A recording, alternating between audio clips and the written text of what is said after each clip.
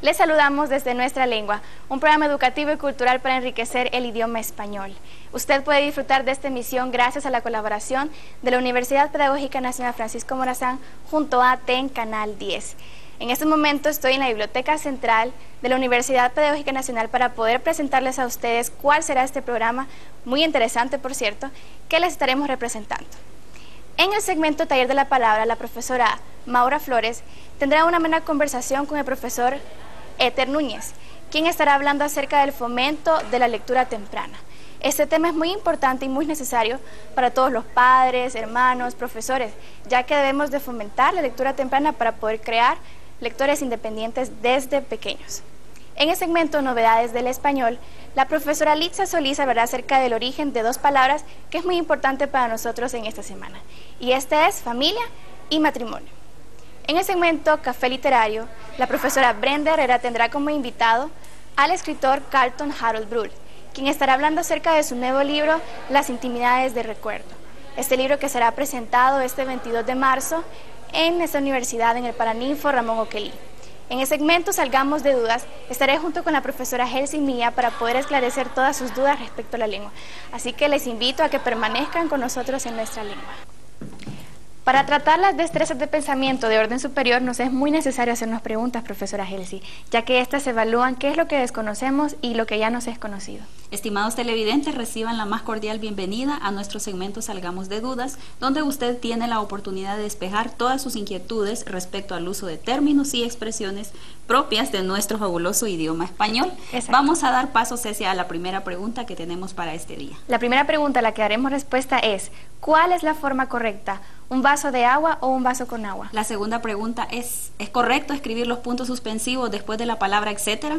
La tercera pregunta, ¿cuál es la forma adecuada? ¿Licuo o licuo? Y también tenemos el acertijo que no puede faltar y este es el siguiente.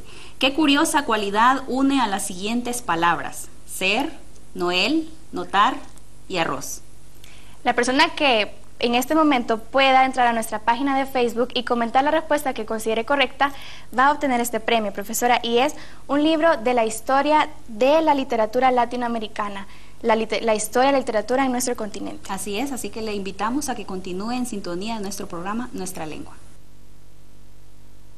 Hola, bienvenidos al segmento Taller de la Palabra. Saludamos a toda la audiencia desde una de las salas de lectura de la Biblioteca Central Juan Antonio Medina Durón, Universidad Pedagógica Nacional Francisco Morazán. El objetivo de este segmento es aportar información valiosa que apoye el desarrollo de habilidades, específicamente de lectura y escritura de nuestros niños y jóvenes. Para hoy tenemos una temática interesante, el fomento de la lectura temprana se preguntarán qué es, a quiénes está dirigido y cuál es la importancia que tiene. Para conversar sobre esta temática me acompaña el profesor Eter Núñez, ya ha estado como invitado en nuestro segmento, pero para los, mm, la audiencia que por primera vez nos sintoniza, él es profesor en la enseñanza del español, es autor del libro de español de la Secretaría de Educación de primer grado, es consultor y también tiene una amplia experiencia de aula que avalan los conocimientos sobre esta temática. Bienvenido, profesor. Muchas gracias, profesora, por invitarme. Como siempre es un gran gusto estar aquí compartiendo con ustedes y con la teleaudiencia en general. Bien, quiero partir de algunas expresiones que hemos escuchado, eh, que dice, una de ellas dice que si de niños nos leyeron cuentos, los atesoramos como un gran recuerdo o si vimos a nuestros padres leer de pequeño, ahora de, adultos somos buenos lectores. O también si hemos sido buenos lectores, tenemos ese interés porque nuestros hijos tengan ese mismo gusto. Eh, para comenzar, profe, quiero que nos explique qué es la, qué es la lectura temprana, a quiénes está dirigido y qué tiene que ver con estas ideas que eh, muchas veces las hemos escuchado. Bueno, eh, realmente la lectura temprana son todas aquellas actividades iniciales que se hacen generalmente a partir de los tres años hasta los seis. En nuestro país por lo general es, hasta cinco años y medio, porque es en esta edad en donde los niños entran a preparatoria y seis años y medio posteriormente en el primer grado. Y en efecto, con relación a lo que ha dicho mucho de esas afirmaciones son ciertas. Los niños que tienen aproximaciones tempranas a la lectura realmente se les facilita mucho, por ejemplo, aprender a leer y a escribir en los primeros grados. Cuando hablamos de esta lectura temprana, ¿qué estamos entendiendo por lectura temprana en estas edades que nos ha mencionado? Bueno, realmente no debemos entender a la, lectura como ese término convencional que por lo general utilizamos. Eh, vamos a decir que lectura no solamente es descodificar los signos lingüísticos, y a esto me refiero a que leer no solamente es interpretar las letras o el alfabeto, leer también es interpretar eh, cualquier tipo de imágenes, por ejemplo, cualquier tipo de dibujos, cualquier tipo de iconos o señales que en, en este tipo de actividades los niños son muy hábiles desde pequeños. A mí me interesa este tema porque estoy pasando por esta experiencia, tengo una niña de tres años y veo cómo el aproximarse o el acercarse a los libros, el tener ese ambiente letrado, a ellos les interesa, pero viéndolo desde la parte lúdica, no no viendo la lectura como algo forzado o un sistema formal. Entonces, ¿qué beneficios tiene la lectura temprana en los niños? Bueno, como profesor les voy a comentar que para mí es un gran alivio recibir en el primer grado a niños y niñas que han leído junto con sus papás en edades tempranas. ¿Por qué? Porque a este tipo de niños se les hace más fácil aprender el código alfabético. Esto significa que aprenden a leer de manera convencional más rápido que los niños que no tuvieron esa oportunidad de disfrutar de la lectura en edades de 3 a 6 años, por ejemplo. Ese tan solo es un beneficio porque en, en general ayuda a que los niños aumenten su vocabulario. Y vocabulario no me refiero solamente a la interpretación de palabras en un texto, también me refiero al vocabulario en el discurso oral. Esto significa que los niños que más leen tienen una mayor cantidad de palabras para expresar sus ideas, sus sentimientos y sus emociones. ¿Y qué decir del vocabulario al escribir? Los niños que leen más tienen mejor lenguaje al escribir cualquier tipo de texto. Estos son solamente unos beneficios, porque también podemos sumar eh, la creatividad que despierta la imaginación, al, aproximarse a una variedad de tipos de texto y también que se les facilita aprender otro tipo de contenidos. El niño que lee también puede leer de diferentes campos del conocimiento. Pueden leer, por ejemplo, temas de geografía, temas de, la ciencia, de, la, naturaleza y en general cualquier tipo de contenido. La experiencia eh, que estoy obteniendo pues es valiosa porque he visto que a través de la manipulación de los, de los libros, ellos cómo les interesa las imágenes, las portadas, y es ahí la parte del, del, tutor, en este caso, que son los padres de familia, o somos los padres de familia, o los abuelos que también les encanta hacer esta tarea, o algún encargado de, de su niño. Entonces, el hecho de realizar preguntas relacionadas a la imagen, o también asociar. Veo que ellos, esa capacidad que tienen cognitiva de imaginar, fácilmente hacen asociaciones, porque he tenido la experiencia, por ejemplo, de poder ver que a través de preguntas, preguntando cómo ellos son capaces de eh, explorar y de obtener eh, conocimiento. Bien, pero creo que tenemos un mito y me gustaría que lo comentáramos con relación. Se dice en la sociedad que si el niño a temprana edad los sometemos a estos procesos de lectura temprana, pues tiene efectos negativos en la formación que le toca continuar. ¿Qué piensa usted, profe? Eh, voy a repetir lo que dije al inicio. Si concebimos a la lectura como una actividad formalista, vamos a lograr que el niño no sea alguien que ame la lectura. ¿A qué me refiero con esto? Los papás piensan que leer, por ejemplo, es ponerlos a que se aprendan las sílabas que componen las palabras y que a su vez componen los textos. ese tipo de lectura no logra que el niño desarrolle habilidades y amor hasta a ese tipo de actividades. Hay que concebir la lectura entonces como una actividad lúdica, como una actividad de recreación, como cuando salimos a un parque o cuando vemos la televisión con los hijos, por ejemplo. Entonces leer tiene que ser una actividad que pueden hacer los papás con sus hijos antes de dormir, por ejemplo. Y no solamente lo que tenga que ver con la interpretación de las palabras o de las letras, sino también, como usted lo dijo, lo que tenga que ver con las imágenes, por ejemplo, las portadas de los libros, por ejemplo, e incluso los personajes que están en los textos. Los niños tienen mucha facilidad para aprender los nombres de los personajes que aparecen en la televisión. De igual manera, tienen mucha facilidad para identificarse con los personajes que aparecen en los diferentes tipos de textos. Entonces, ¿qué actividades pueden favorecer el fomento de la lectura temprana? Bueno, la lectura temprana es una actividad que compete más al padre de familia que al profesor. Eh, ¿Qué tipo de actividades pueden hacer sus papás, los papás con sus hijos? Bueno, en primer lugar, determinar un espacio para dedicarse a la lectura. Me refiero a un lugar que tenga buena iluminación, buena ventilación, y que también sea acogedor. En segundo lugar, elegir el tipo de texto que va a leer. Los papás tienen que ser muy hábiles en la selección de cuentos, por ejemplo. Que sean de interés. De interés para el niño. Preferiblemente que sean cortos, que tengan muchas ilustraciones, que tengan rimas, si es posible, y también una variedad de textos, como recetas de cocina, por ejemplo, como instructivos de sus juguetes favoritos, también puede ser otra... Eh, o involucrarlos a seguir las instrucciones de su juguete para poderlo armar. También es una actividad bonita que, que, la he hecho con mi niña y, funciona muy bien. Ahora, ¿qué recomendaciones metodológicas puede dar a los docentes en este caso que ya ellos eh, reciben a estos niños que vienen con esa formación, o muchos no, de la lectura temprana? Bueno, para empezar, yo escucho mucho a los profesores decir que los niños cuando llegan al primer grado no saben leer. Eso es algo que se debe... Otro mito. Exacto, de la mente del profesor. Eh, los niños pueden leer.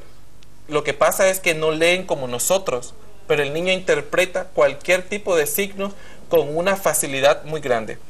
Yo recomiendo en general al profesor que se prepare con una variedad de tipos de textos que la lectura sea una actividad que prepare y planifique con mucha anticipación, que no se saque los textos, por ejemplo, de la manga de la camisa.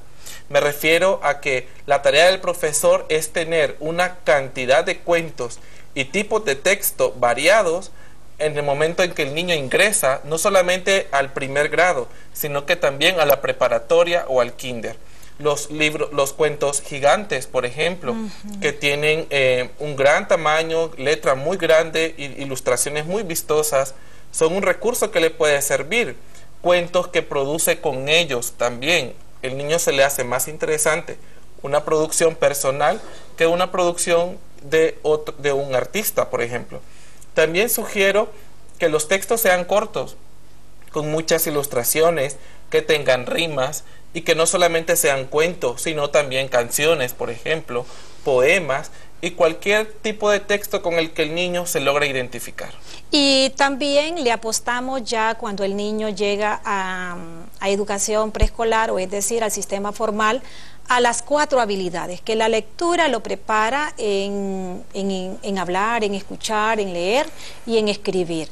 Agradecemos al profesor Eter Núñez por sus valiosos conocimientos y la experiencia en lectura temprana y también invitamos a todos los padres de familias que se involucren en esta actividad de la, de la lectura temprana y que no lo vean como una actividad formal, sino algo que despierte interés, que acerque a los niños a tener este hábito que en el futuro se convertirán en los, en los mm, lectores fieles y eh, amantes de los libros y de la lectura.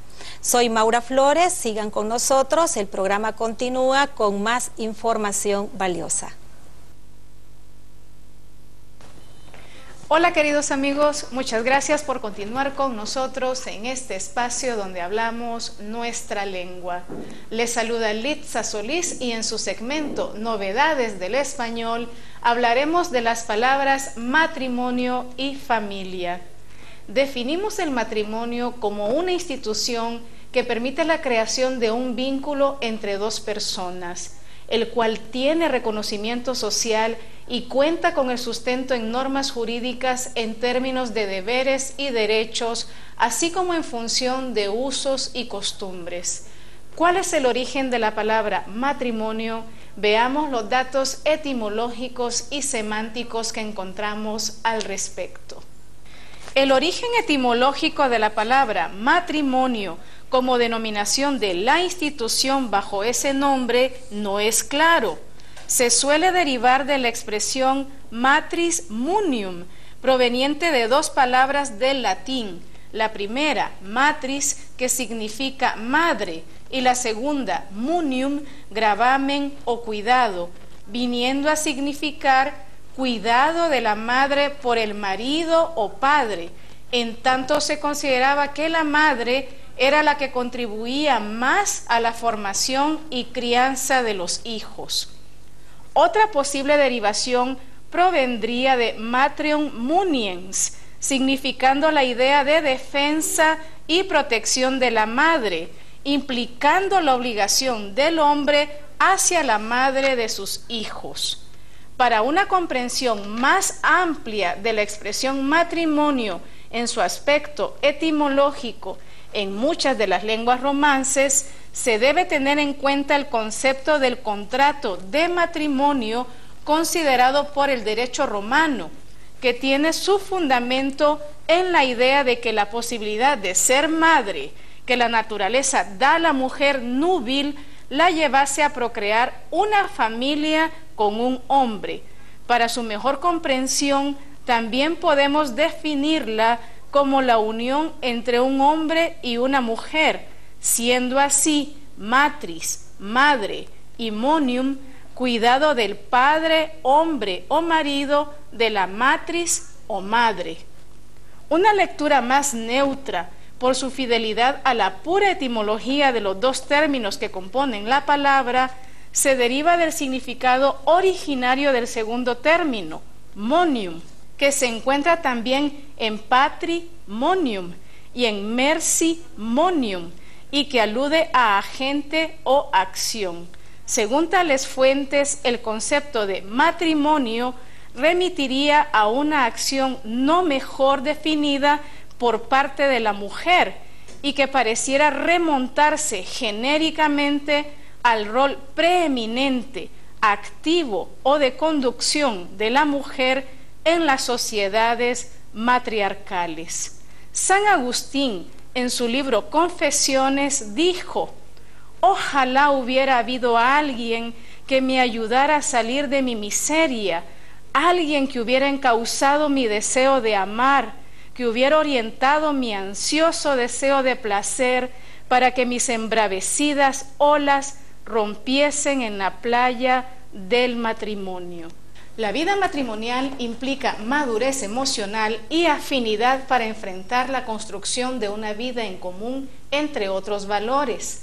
Las personas unidas en matrimonio tienen como principal objetivo la constitución de una familia. Veamos a continuación la etimología de esta palabra. El término familia procede del latín familia, grupo de siervos y esclavos, patrimonio del jefe de la gens, a su vez derivado de famulus, siervo o esclavo, que a su vez deriva del osco famel. El término abrió su campo semántico para incluir también a la esposa e hijos del pater familias, a quien legalmente pertenecían hasta que acabó reemplazando a gens. Tradicionalmente se ha vinculado a la palabra famulus y sus términos asociados a la raíz fames, hambre, de forma que la voz se refiere al conjunto de personas que se alimentan juntas en la misma casa y a los que un pater familias tiene la obligación de alimentar. El diccionario de la lengua española registra las siguientes acepciones para la palabra familia. Grupo de personas emparentadas entre sí que viven juntas. Conjunto de ascendientes, descendientes, colaterales y afines de un linaje. Hijos o descendencia. Conjunto de personas que comparten alguna condición, opinión o tendencia. Conjunto de objetos que presentan características comunes que lo diferencian de otros. Cuerpo de una orden o de una comunidad religiosa. Grupo de personas relacionadas por amistad o trato. Conjunto de criados de alguien aunque no vivan dentro de su casa. Confucio decía, una casa será fuerte e indestructible cuando esté sostenida por estas cuatro columnas. Padre valiente, madre prudente, hijo obediente y hermano complaciente. El matrimonio es una institución muy importante porque contribuye a definir la estructura de la sociedad al crear lazos de parentesco entre las personas. Una de sus funciones ampliamente reconocidas es la procreación y socialización de los hijos, así como la regulación de los nexos entre los individuos. Muchas gracias por sus comentarios y sugerencias temáticas para este segmento. Sigan escribiéndonos a la dirección de correo electrónico que aparece en sus pantallas o a nuestra página de Facebook. Soy Litza Solís y los espero en una próxima emisión con más novedades del español. Hasta pronto. Bienvenidos una vez más al segmento Café Literario. Como siempre nos encontramos en la biblioteca Juan Antonio Medina Durón de la Universidad Pedagógica y este es el lugar perfecto donde rendimos homenaje a los libros, a sus autores, a la lectura, a la literatura. Como siempre en este segmento tenemos a bien hablar de grandes obras, hondureñas, eh, generalmente, porque tenemos los invitados hondureños que nos acompañan, y en esta ocasión tengo el placer de tener el doble, el doble agrado de presentarles una vez más a Carlton Harold Brule. Bienvenido, ¿cómo está? Muy bien, muchas gracias por invitarme otra vez a su programa. Sí, no, y nosotros contentos porque la, la, la, categoría, la calidad de sus textos es impresionante. Entonces, eh, el placer es mutuo. Yo leo las obras y usted nos comenta. Hablaremos en esta ocasión de su séptima publicación, La intimidad de los recuerdos. Entonces vamos a hablar acerca de este libro. Eh, esto es su séptima después de, una novela y varios eh, relatos, pero este tiene una particularidad, ¿verdad? Es una mezcla de micro relatos y relatos un poco extensos. Cuénteme. Eh, en los libros anteriores, el, el, primer libro de relatos que publiqué, El último vagón, era de relatos ya un poco más largos. Igual el segundo, Nombre para el Olvido a partir de La Dama en el Café y otros relatos que escribí junto a Nerelexi Gaitán, comencé a, enfocarme un poco más en la microficción. El siguiente libro que fue donde le dije adiós fue exclusivamente microrelatos, igual el siguiente que es eh, Sin Vuelta Atrás. Y en este sí quise hacer una mezcla, volver un poco al, relato de un poco más de extensión, eh, como una manera de práctica. O sea, me había enfocado tal vez demasiado en la microficción y quise volver al relato un poco más largo. Y no hay receta, ¿verdad? Para, para decir, este va a ser microrelato y este va a ser extenso. ¿Cómo se decide la, la, naturaleza de ese cuento? Fíjese que es la historia, es la historia la que le va dando a uno como autor la extensión que va a tener. Eh, puede ser que lo haya comenzado como un microrelato, pero uno tiene la, sensación de que puede dar para más. Entonces sí, sí puede darle un poco más de giros, puede darle un poco más de carne, podríamos decir, al relato. Eh, y al momento de decidir si es microficción, eh, es evidente, o sea, si, si usted lo escribe y es un párrafo y en un párrafo pudo contar lo que tenía que contar, ¿para qué seguir escribiendo? O sea, se vuelve innecesario. Y hay, hay muchos cuentos que la frase, la frase final es tan contundente que, como usted lo menciona, no da para más. Exactamente. O sea, es, es, esa frase, ese, ese final el que determina si se hay que seguir o no. Muy bien. Y cuando usted está escribiéndolo, ¿se siente cómodo con, con el micro relato con el, o, o, se siente cómodo con ambos? No, es, es, como le digo, depende de la historia. O sea, eh, por supuesto la, la, la, microficción exige que sea algo, eh, en realidad, ahí sí, como un golpe directo. O sea, no, no hay mucha opción para, para divagar en, en, en, cuanto a personajes o en cuanto a la trama del, del relato. Eh, pero como le digo, o sea, sí me siento cómodo, o sea, eh, si la historia me dice que tengo que seguir, no, no tengo ningún problema. Muy, bien. He encontrado en esto y en, la, y en los, sus otros eh, eh, cuentos anteriores, encontrado diversidad temática. Eh, ¿También la diversidad temática surge espontáneamente? Sí, sí. nunca he intentado hacer un libro con una unidad temática, uh -huh. o sea, un libro de relatos. nunca he pensado voy a dedicarme solo a, a un determinado tema. Uh -huh. Generalmente por eso hay, hay cierta diversidad, porque eh, a medida que se va presentando la inspiración, pues va surgiendo la historia. Hablábamos de la musa la vez pasada, ¿verdad? ¿A usted sí. le, llega en cualquier momento? Puede llegar en cualquier momento. Uno, lo que sí hay que estar preparado. Sí, lápiz y mano. Lápiz Perdón, y mano lápiz, o, lápiz, ir, o, ir, practicando con la memoria para la que memoria. no se olviden las... Sí, a mí me, me llamó la atención que usted, eh, la memoria le funciona muy bien, porque a veces uno tiene una, una idea y luego se olvida. Sí, pero lo que hago generalmente es, eh, muchas veces escribo primero el relato en la mente, lo, lo dejo ahí que, que se desarrolle uh -huh. y llegado el momento pues ya está casi listo, solo es de pasarlo a papel. Exacto, exactamente. Y de estos, de estos uh, relatos, ¿cuál es su favorito? ¿Es quizá el que le da título al, al libro?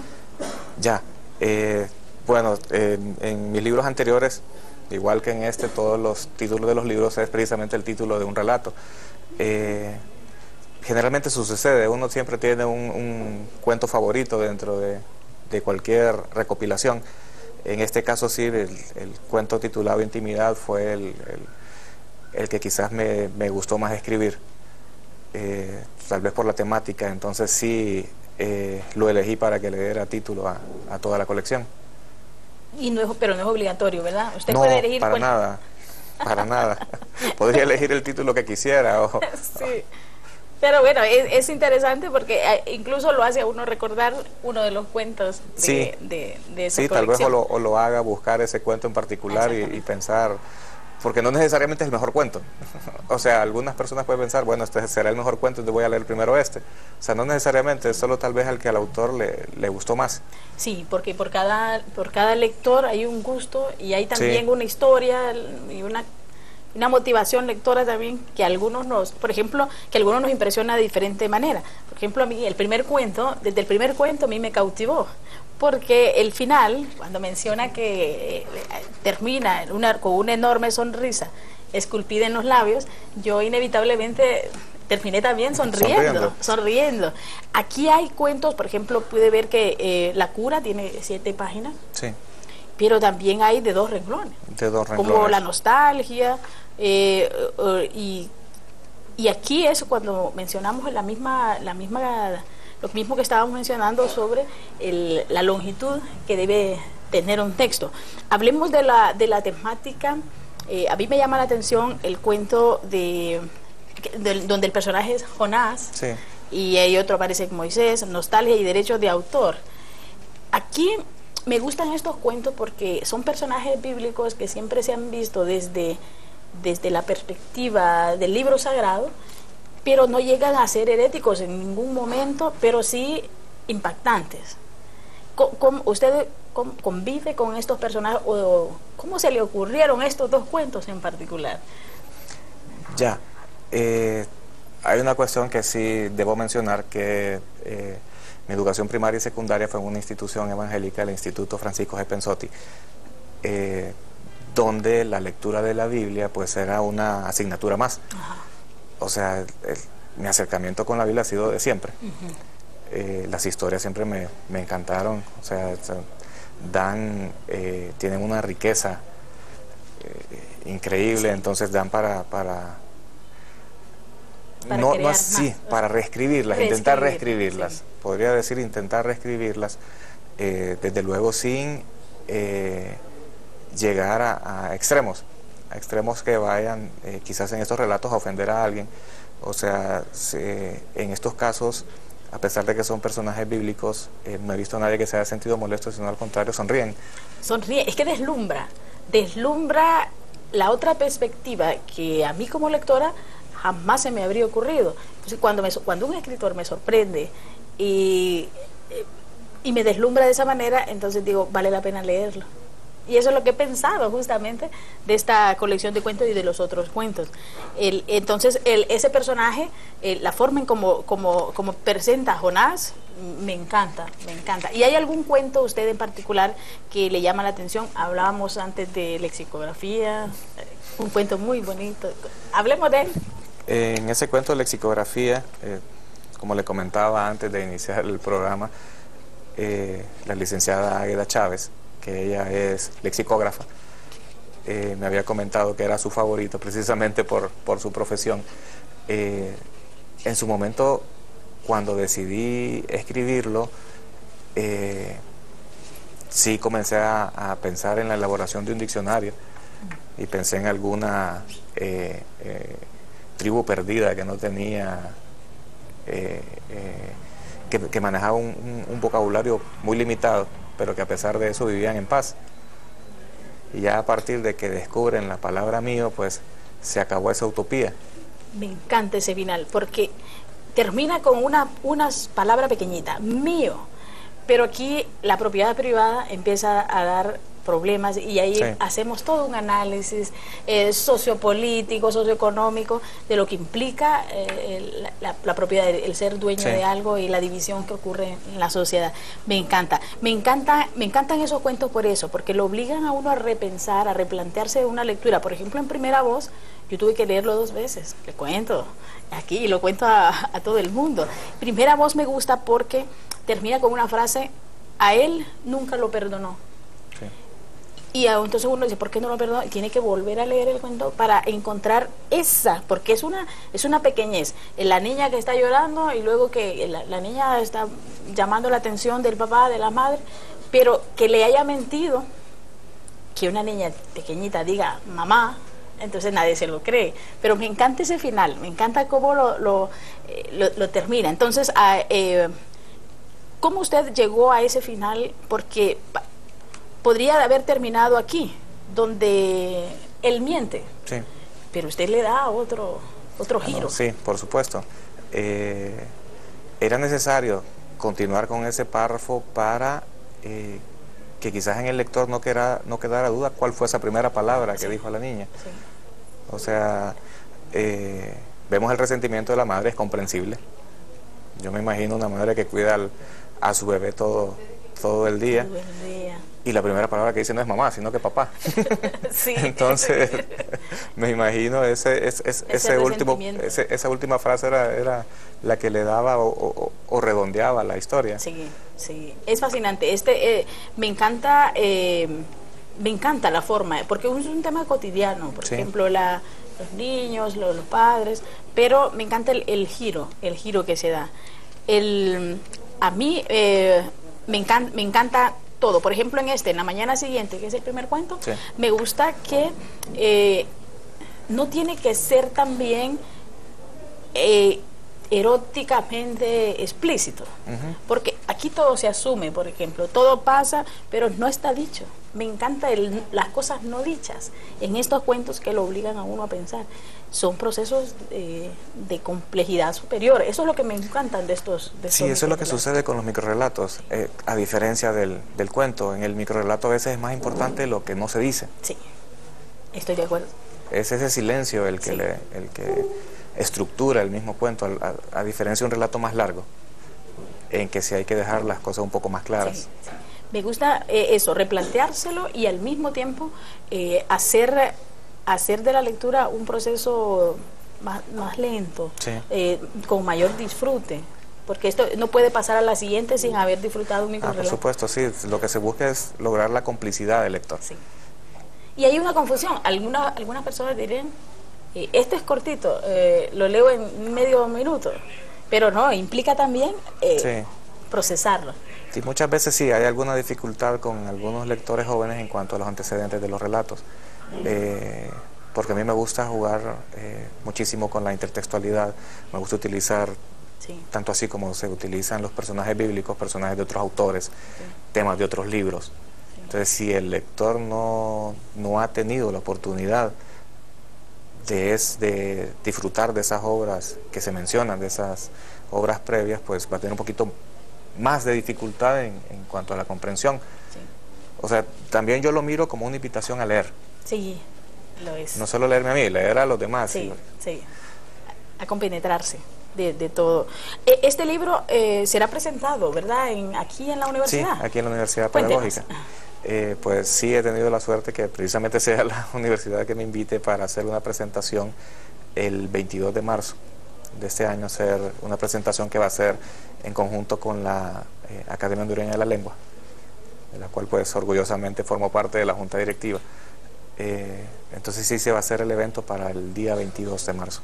El día 22 de marzo. Sí. Entonces todos estamos invitados el día 22 de marzo en el Paraninfo Ramón Oquelí para la presentación y disfrutar de la lectura de estos cuentos maravillosos. Y agradezco a Calton, gracias Calton por no, venir. Gracias a usted nuevamente. Y gracias por estar en el Café Literario. Hasta pronto. Bienvenidos al último segmento de su programa Nuestra Lengua, el segmento Salgamos de Dudas, donde ya con la profesora Helsi Mía estamos listas y dispuestas a responder todas sus preguntas respecto a la lengua. Por cierto, agradecemos a todas las personas que nos envían sus comentarios, quienes participan en los acertijos y quienes siempre nos hacen eh, las preguntas que desean que nosotros respondamos en este segmento. Así. Profesora, la primera pregunta es, ¿cuál es la forma correcta? ¿Un vaso de agua o un vaso con agua? Muchas personas decía, tienen la idea de que decir vaso de agua es incorrecto, porque creen que con ello se afirma que los vasos están hechos de agua. Pero déjenme decirles que para saber cuál es la forma correcta, vaso de agua o vaso con agua, debemos re remitirnos en primera instancia a la función que cumple la preposición de dentro de esta frase. De denota posesión, origen, asunto, causa y entre todos ellos también se encuentra el de indicar el contenido de algo. Es por eso que solemos escuchar plato de sopa para indicar que el plato contiene sopa y vaso de agua para indicar que el vaso está conteniendo agua. Así es, profesora. Hemos escuchado compañeros que han tenido la experiencia o la casualidad de que fueron a comprar una bolsa de agua y cuando pidieron esto a la persona que atiende, lo, lo corrigen. corrigen y le dice bolsa con agua. No bolsa de agua. Exactamente, pero está correcto decir una bolsa de agua, claro, porque contiene agua. Así es. Y de, es acuerdo, la... de acuerdo con la Real Academia Española, Cecia, esto está correcto. Nosotros lo podemos utilizar vaso de agua para indicar medición o contenido. Uh -huh. Y si estamos preparando una receta de cocina, de igual forma, pedimos un vaso de agua, dos, tres vasos de agua, de acuerdo con la cantidad que sea necesaria. También podemos decir una cucharada de azúcar. Un costal de grano. Exactamente. Y el costal no es que está hecho específicamente de grano. Y es que la preposición de, profesora, cumple más de 15 funciones como categoría gramatical de preposición. Por ejemplo, podemos eh, utilizar de, por ejemplo, cuando decimos algo de la edad.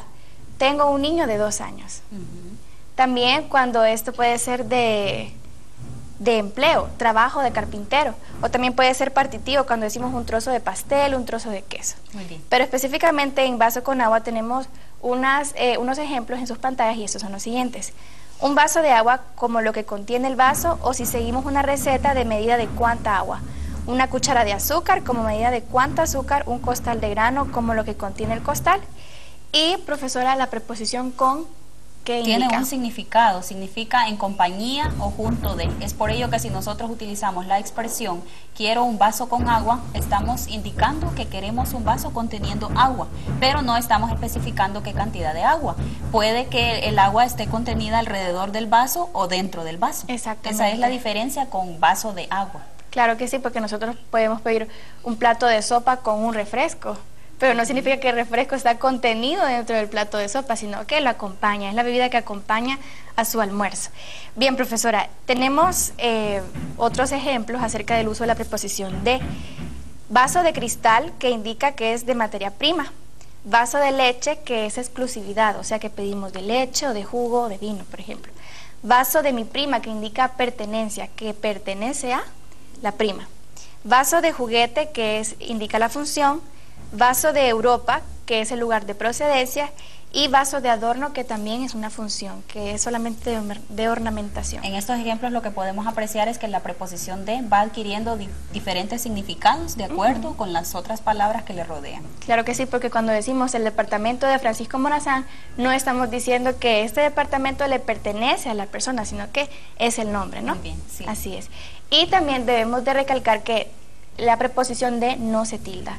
Lo único que se tilda es de, que es una forma del verbo dar. Por ejemplo, de un vaso de agua a la visita, por favor.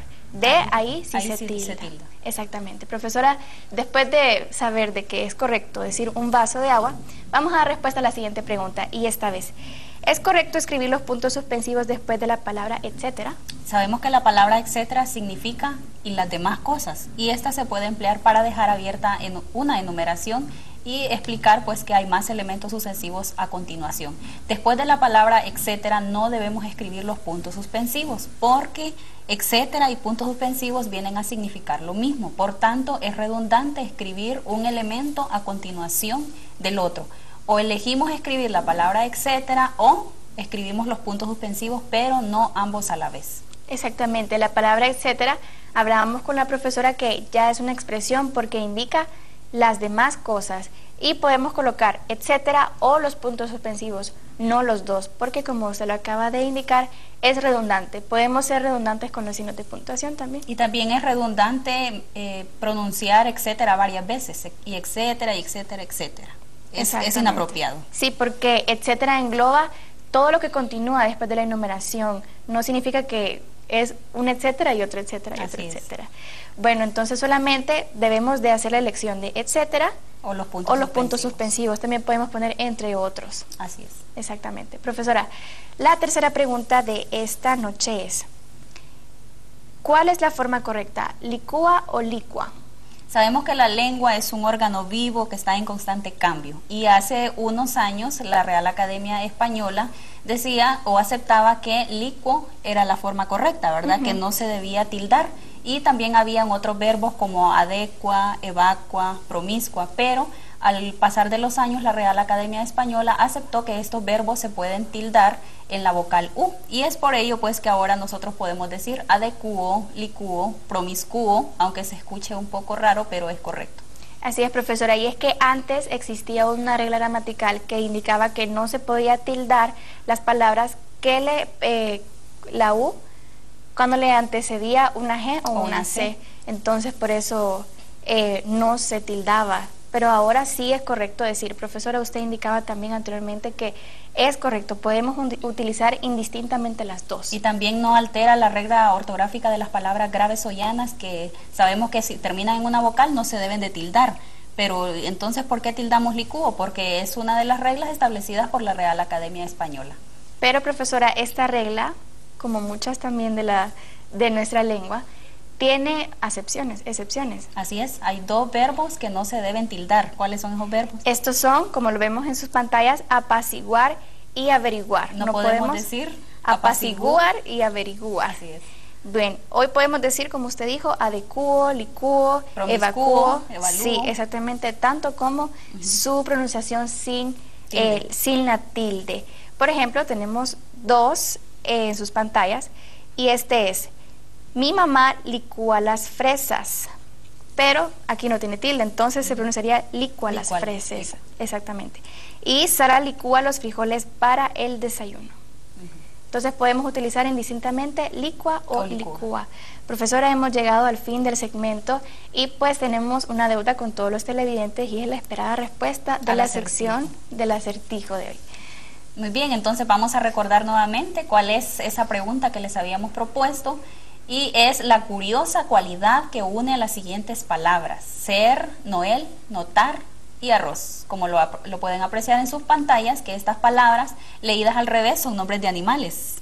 Por ejemplo, res, ser, perdón. Es res. Noel. León. Notar. Ratón. Y arroz. Zorra. Muy bien, esa es entonces la respuesta al acertijo del día de hoy. Sí, exactamente. Y queremos felicitar al ganador del libro de la semana pasada y es el señor Alex Velázquez, lo felicitamos.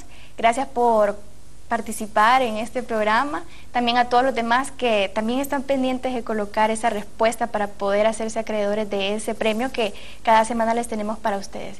Asimismo, quiero enviar un especial saludo a José Luis Vázquez y su familia, que son fieles televidentes hasta Danlí, el paraíso. Así es que los esperamos siempre cada lunes en punto de las 8 de la noche. No se pierdan nuestro próximo programa. Muchas gracias por haber permanecido con nosotros a lo largo de esta emisión. Les recordamos que pueden comunicarse con nosotros a través del correo electrónico que usted puede ver en su pantalla, asimismo con la página de Facebook Nuestra Lengua TV Letras.